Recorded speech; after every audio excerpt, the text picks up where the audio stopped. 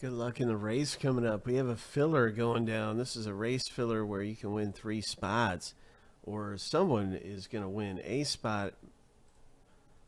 And there's actually three people that are going to get spots, or it could be one person winning one spot, or one person winning two spots. Three spots are up for grabs. How about that? What if I what if I just say that? Three spots are up for grabs. Uh, but maybe one person can win all three. Maybe it could be dispersed. Maybe one person gets two. Sorry, here we go. Uh, let me see. I need to get back to the this thing. So here's our racers right here, and uh, you need to place in uh, first, second, or third to win a spot. First place wins a spot. Second place wins a spot. Third place wins a spot. Shuffle seven times. Lucky number seven on your mark. Get set. Go.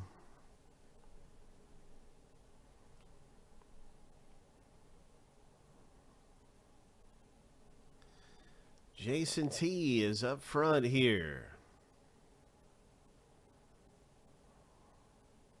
Brian's in second place and Craig in third right now.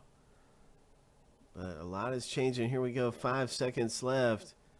Brian in the red jersey is taking a strong lead. Three, two, one. Wow, congratulations, Brian.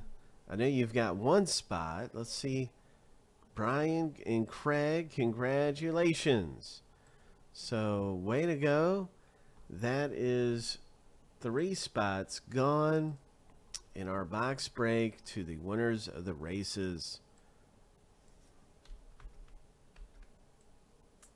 So thanks for getting in and giving it a run and a good old fashioned try for winning spots for cheap if you didn't win the race or get in the top three.